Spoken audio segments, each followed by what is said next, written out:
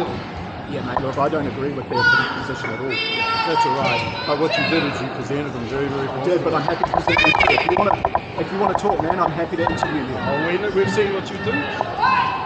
All I'm doing is presenting what I see. That's it. Uh, you presented in your way which supports Daniel Maxim. He is an anti-Semite and Islamophobe.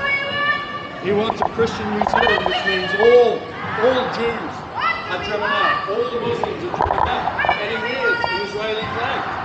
You support Islamophobia I don't support that at all. and anti-Semitism.